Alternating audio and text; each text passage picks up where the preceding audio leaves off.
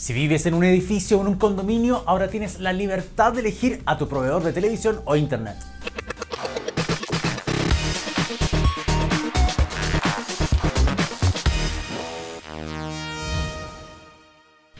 Desde 2014 que se trabaja por zanjar los contratos truchas y exclusividades de las empresas de telecomunicaciones en edificios de Chile. Finalmente eso se cerró y aunque desde el 2015 existe un acuerdo entre las autoridades y las empresas de telecomunicaciones, se podría decir que no es hasta ahora, en 2018, que se acaban las ataduras.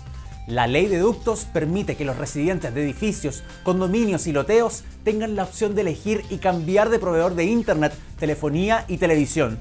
Dicha ley pone fin a cualquier restricción o actividad monopólica que tengan los proveedores de servicios en edificios nuevos. Y en el caso de los antiguos, que solo tienen un proveedor, las compañías no pueden acusar la falta de factibilidad técnica sin justificar frente a la misma subsecretaría de Telecomunicaciones el pretexto. Tampoco ningún administrador de edificio puede decir que existe exclusividad con una compañía.